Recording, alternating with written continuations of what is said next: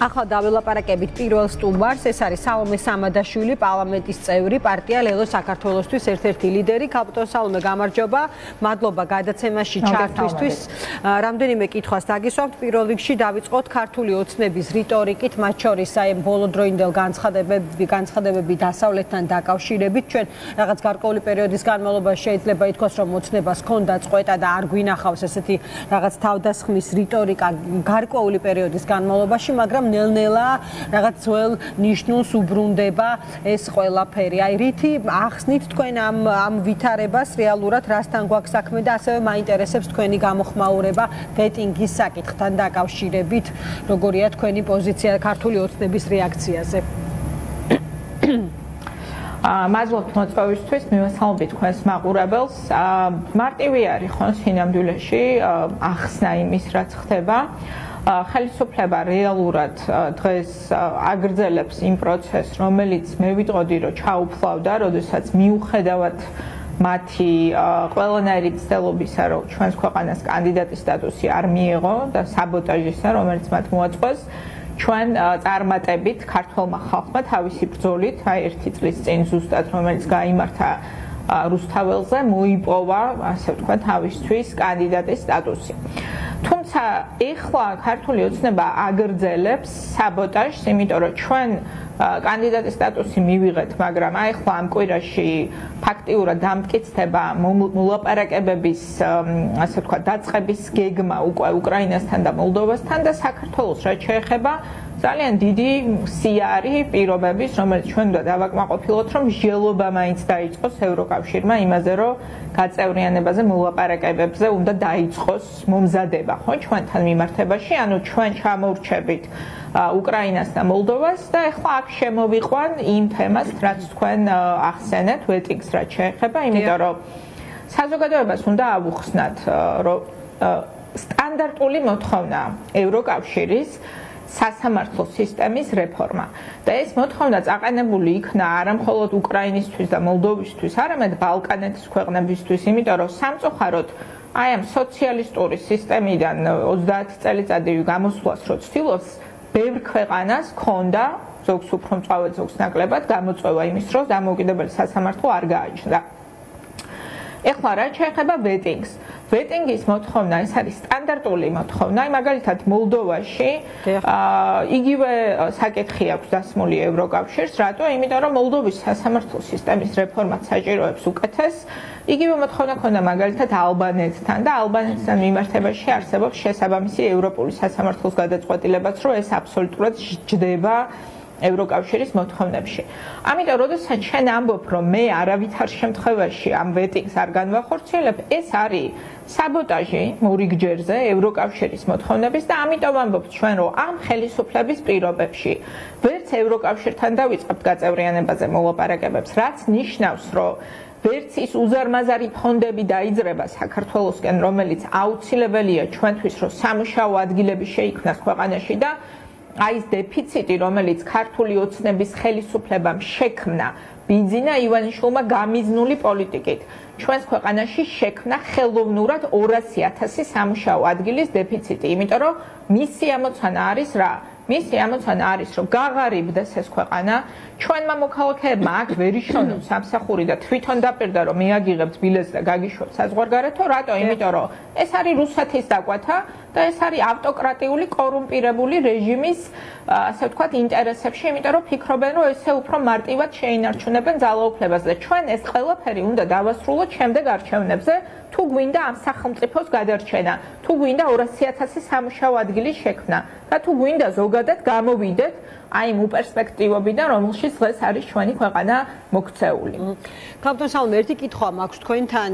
ჩვენ ეს ვეტინგის თემა არის თუ არა ის თემა, რომელსაც ოცნება, ეხა ვეტინგის შეიძლება არ იყოს საბოლოოდ, მაგრამ აი რაღაცა რაღაცა მექანიზმის მოფიქრება ზეწოლის შემთხვევაში, ანუ ნებისმიერ შემთხვევაში მოუწევს თუ არა ქართულ ოცნებას თუ შეიძლება მართველი გუნდი წავიდეს ღიად ეხა ღიად ხო ვერ დატოვებს ამ საკითხს ხო? ეხა რეალურად ჩავითეთ როდესაც ეთქვიან რომ ამაზეც წდება ამით წდება რაღაცის ბედი რაღაც გადაწყვეტილების მიღება ცხადია შეიძლება მოუწიოთ. მე ვახსენე რომ არის რაღაც რამდენიმე კომენტარი მათ შორის ქართული ოცნების ერთ-ერთი დეპუტატი იგივე ოდიშარია რომელიც ამბობს რომ თუ მაინც და მაინც ეს ციტატა არის და უბრალოდ თქვენ მინდა მოგიყვანოთ რომ თუ მაინც და მაინც ვინმეს რეკომენდაციას მივიღებთ მივიღებთ ქართველი ექსპერტის მდინარაძე რომელიც ამბობს რომ გადაწყვეტილება მიიღება ქართველების მიერ და ასევე წულუკიანის აქცენტი რომ უცხოელმა არავითარ შემთხვევაში არ უნდა შეამოწმოს ქართველის ასე თქვათ კეთილსინდისიერება ხო? შეიძლება თუ არა რომ ოცნება ამზადებდეს რაღაც გარკვეულ ინიციატივას არ ვიცი ან რაღაც მექანიზმს რომელთაც შექმნის რაღაც ალტერნატიულ სურათს ამ საკითხზე. სხვა პირების მონაწილეობით. აი რა წარმოქმნა გაქვთ ამ საკითხზე? რა შეიძლება მე არ მგონია რომ ეს არის საინტერესო საქართველოს მოქალაქისთვის ნახეთ რატო იმიტომ რომ ჩვენ ჩვენ რა გვჭირდება? აი თქვენ რა გჭირდებათ? საქართველოს მოქალაქეების 90%-ს, რომელიც ამბობს, რომ მე მინდა, რომ ეს ქვეყანა იყოს ევროკავშირის წევრი სახელმწიფო. ჭირდება ის, რომ ჩვენ კი არ ვებაჭრებოდეთ ევროკავშირს, რომ მოთხოვნებს ესე შევასრულებთ, ან არ შევასრულებთ, ან ნაწილობრივ და შეუსრულებელია დღემდე ყველა მოთხოვნა 12 მოთხოვნიდან 3 შესრულდა ნაწილობრივ და 9 მოთხოვნიდან დღეს არც ერთი არ არის შესრულებული. ქართულ ხალხს ჭირდება მთავრობა და ხელისუფლება, რომელმაც ზუსტად იცის სწრაფად, ეფექტიანად როგორ შეასრულოს ევროკავშირის მოთხოვნები, რომ საერთოდ საუბარიც არ იყოს იმაზე, რომ ჩვენ ვასრულებთ ჩვენს დავალებას, ხო, იმიტომ რომ ჩვენ ახლა კანდიდატის სტატუსი რადგან მივიღეთ, ყველაფერი არის დამოკიდებული ჩვენზე.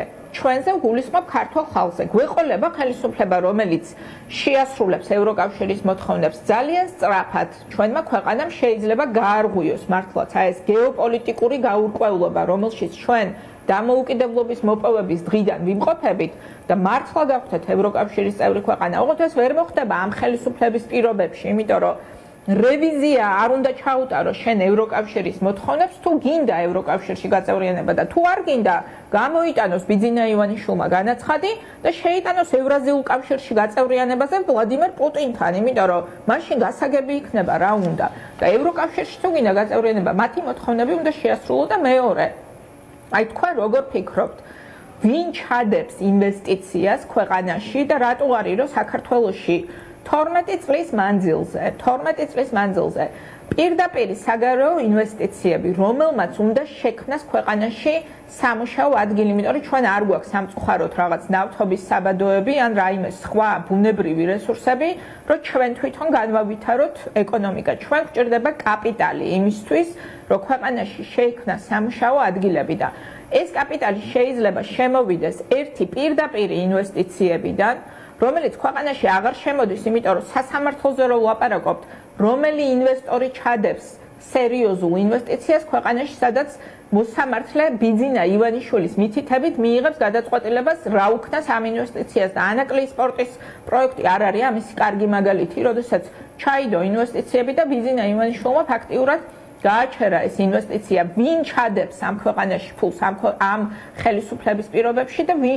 შექმნის სამშაო ადგილს და მეორე განვითარების ჩვენი ერთადერთი შანსი, ასევე მეორე წყარო ეს არის ევროკავშირის უზარმაზარი ფონდები, რომელიც უნდა შემოვიდეს ამ ქვეყანაში, რომელიც ჩვენაირ პატარა ქვეყანაში მართლა საგრძნობ გარდატეხას გამოიყვანს, გამოიწვევს, ოღონდ ამას ჭირდება ევროკავშირის მოთხოვნების შესრულება.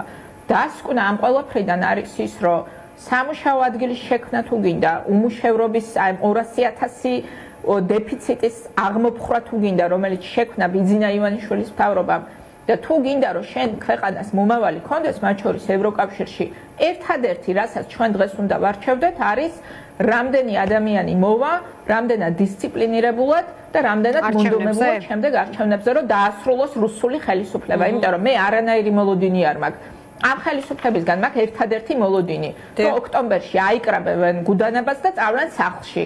აი ეს და მე რა თქმა უნდა დამოუკიდებელი სასამართლო, დამოუკიდებელი პროკურატურა გამოიძიებს მათ მიერ მოპარული ქართველი ხალხის ჯიბიდან ამოღებული ფული სად წავიდა და რაც საჭირო იქნება იმას დააბრუნებინებს ქართველი ხალხი. აი ეს არის ჩემი მოლოდინი. გასაგებია, სალომე თქვენ ახსენეთ რომ ყველა სინ ასე თქვა ცდელობა უნდა იყოს მიმართული იქეთკენ რომ რა შეიძლება ბევრი ადამიანი მივიდეს, ხო, ურნებთან და მისცეს ხმა ამა თუ იმ პოლიტიკური ჯგუფის სასარგებლოდ. აა ეხა აი რა რა რა არის მთავარი გასაღები საიმისოდ რომ არ მოხდეს აი ამ ხმების დაკარგვა, თქვენ იცით რა სიახლებიც არის ქართულ პოლიტიკურ ველზე ამ თვალსაზრისით, მათ შორის ახალი გამოჩნდა, ვნახოთ რა გადაჯგუფებებს ვნახავთ კიდე ამ პერიოდის განმავლობაში, მოიწინა საარჩევნო პერიოდში. აი რისი თქმა შეგიძლიათ ოცნება. ამბობს რომ ყველა ერთია, არის ერთი რაღაცა დიდი სივრცე და ყველა ნაცი და ასე შემდეგ და არანაირი სხვაობა მათ შორის არ არის რომ ხუთიანი ბრენდირებული ნომერი გადალახავს და მესამეს პრობლემა ექნება ბარიერზე. აი ეს ნიჰილიზმის გაღრმავება, აი როგორ ფიქრობთ რა არის ამის წყარო და როგორ შეიძლება ამის დაძლევა თქვენი მხრიდან, პარტიების მხრიდან, პირველ რიგში და მთლიანად საზოგადოების მხრიდან? ა პირველ რიგში რაც შეეხება უიმედობას და ნიჰილიზმს, ამას აღვივებს ხო ქართული ოცნება თავისი პროპაგანდით და როდესაც გამოდის კობახიძე და გეუბნებათ, რომ ჩვენ რაღაც ტყუილ ციფრებს იგონებს ორჯერ ზრდის, მაგალითად ქართული ოცნების მხარდაჭერა რეალურად არის 30% და ამბობს რომ 60% გვაქვს. რა არის ამისი მიზანი? ამისი მიზანი არის რომ აი თქვენ ახლა რომ უსმენთ ხო, ან ვიღაც სხვა თქვათ რომ არა, ნუ ამათ ვერაზროს ვერ მოვიშორებთ და ეგება სახლში დავრჩა და საერთოდ სად უნდა წავიდე. აი დაიჯე არ უნდა დაიჯეროთ ეს პროპაგანდა. ამიტომ ჩვენ ლევო მე მთელი ოპოზიციის სახელით ვერ ვისაუბრებ. ლევოს ამოცანა არის რომ ამ დარჩენილ თვეებში კრიტიკულად მნიშვნელოვან თვეებში, როდესაც ჩვენ ჩვენი ქვეყნის ბედს გადავწყვეტ, რაც შეიძლება მეტმა ადამიანმა გაიგოს ერთი, რომ ქართული ოცნება არის განადგურებული უკვე 30%-ია ჩამოსული და პირდაპირ პროპორციული არჩევნები პირველად ტარდება ქვეყანაში. ეს ნიშნავს იმას, რომ ჩვენ რეალურად ვამარცხებთ ქართულ ოცნებას, ოპოზიციას გულისხმობ. მეორე, ჩემი ამოცანა არის, რომ რაც შეიძლება მეტმა ადამიანმა გაიგოს კონკრეტულად ლელოს ხედვა. აი რომ ვამბობთ, რომ 1000 ლარი იქნება პენსია და ეს არის ჩვენი დაპირება, არ არის გეგმა. ეს აბუხსნა დეტალურად რაც შეიძლება მეტ ადამიანს როგორ უნდა იყოს, როგორ არის შესაძლებელი და როგორ იქნება 1000 ლარი პენსია ქვეყანაში. 200000 სამშაო ადგილის შექმნას რო ვამბობთ, საიდან მოგვაქვს ჩვენ ის ინვესტიციები, ევროპული ფონდები და ასე შემდეგ, რომელიც დაიხარჯება იმაში, რომ სამშაო ადგილი შეიქმნას, ხო? იმიტომ რომ სიგარების დაძლევის სხვა არანაირი გზა არავის სოფლიოში კაცობრიობის ისტორიაში არ მოუძებნია გარდა იმისა, რომ სამუშაო ადგილები უნდა შეიქმნას. ამ ყველაფერზე ჩვენ უნდა ვესაუბროთ ხალხს, გავუჩინოთ мотиваცია და რაც თავარი ავუხსნათ, რომ ჩვენ ვართ რეალურად, იცით როგორ გითხრათ, ეს არ არის აქ არჩევნები არ არის მემარჯვენე ძალას მისცემ შეხმას ცენტრისტულ მემარცხენეს. არა, აქ არის საუბარი ქართული სახელმწიფო იარსებებს თუ არ იარსებებს. იმიტომ რომ როდესაც რუსეთის მოკავშირეები მართავენ შენ ქვეყანას და ჩვენ ნახეთ, ხო? აი როდესაც უმუშევრობის სტატისტიკაზეა საუბარი.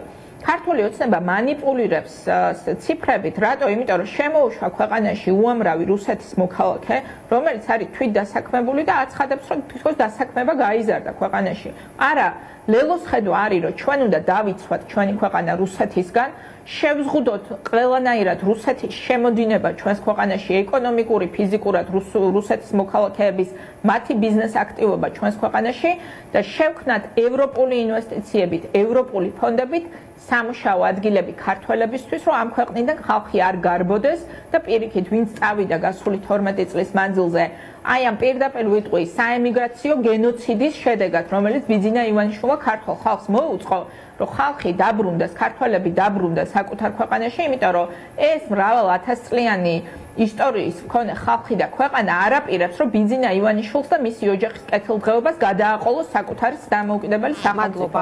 აი ეს უნდა გავიაზროთ და მოვიდეთ არჩევნებზე აუცილებლად. ჩვენ დარწმუნებული ვართ ლელო რომ ჩვენ შევიტანთ ძალიან დიდ წვლილს ბიძინა ივანიშვილის მარცხის საბოლოო გაფორმებაში ოქტომბერში. დიდი მადლობა სალომე დაგემშვიდობებით სალომე სამადაშვილი ლელოს ერთ-ერთი ლიდერი საუბრობდა ჩვენს ეთერში.